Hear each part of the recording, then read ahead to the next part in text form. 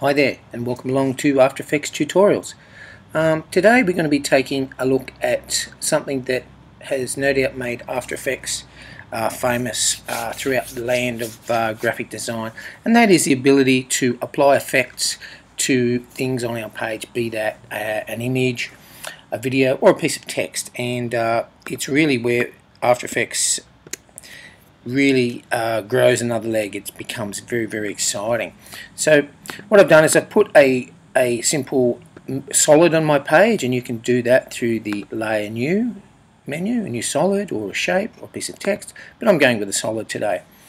And I want to apply an effect to that. So I've got it selected and I'm going to put on one of the simulators. And these are wonderful wonderful uh, effects that have been created that we can then manipulate to suit us. So what I'm going to go for here I think is Pixel Polly.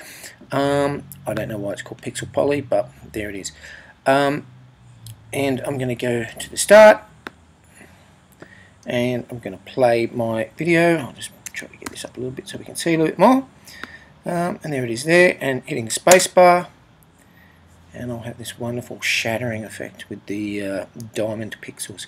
So this obviously uh, is interesting, but it's not exactly what we want yet. We need to be able to control the effects on our page and, and have them do what we want to do. So with my medium solid selected, I'm dropping down to effects drop downs and I'll see that I've got pixel polly um, within this uh, effect.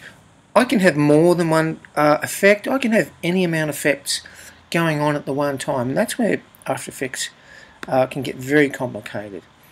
And I'm just looking down here and I have all of these animatable properties that I can um, work with here. So this is the default setting straight out of the box and it looks kind of okay shattering down here but I'm thinking I might want to have a bit of control of this one of the first things I would want to do is initiate a start time so I don't want it to happen right at the start I might like to have maybe a seconds a second of enjoying this blue box before I blow it up.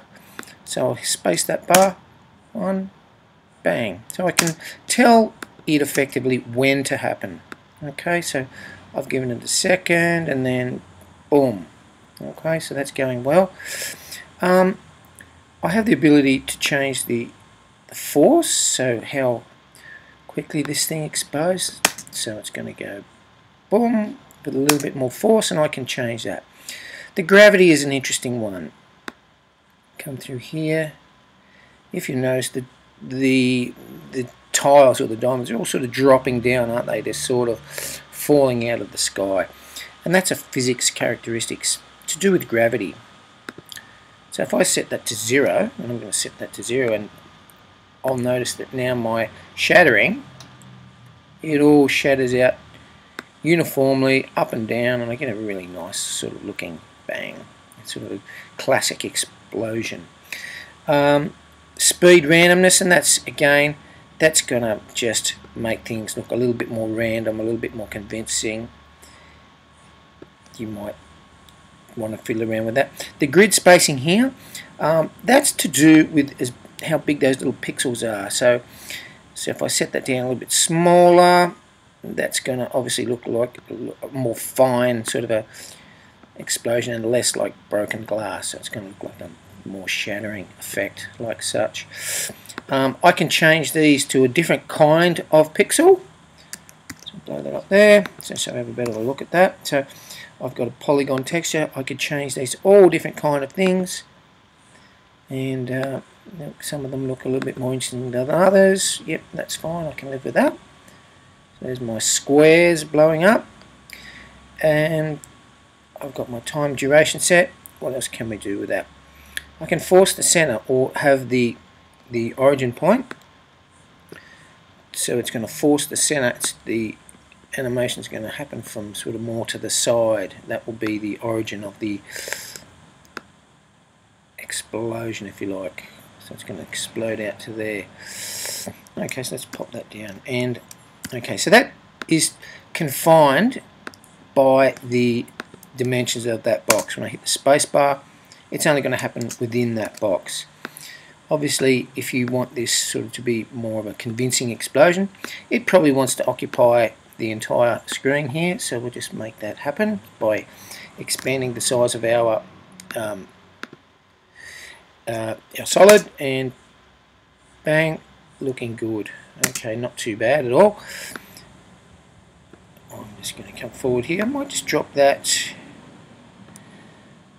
I don't like that square. I think I prefer the polygon. I might change the grid spacing down to 3. That's a little better. A bit more fine. Second, yeah, that's better. Okay, so I've got a nice little effect happening there. Um, one more thing before we go. I'm just going to drop that solid in behind my type now. Um, I've got an effect, and bang she goes. What I'd like to do is take that effect and I can actually copy by pressing Command C. I can copy that effect. I'm going to select one of these pieces of type and with that selected I'm going to paste that effect back in there. So effectively I'm taking the effect from one place, copying it and putting it on the other. So let's see how we go with that. So After Effects, all blows up. After Effects, give it one more time. Bang. Lovely. Okay, so look, um, After Effects has got a lot of effects and we're going to be looking at some of those in future animations and tutorials. I hope that it's been interesting for you and we'll see you next time.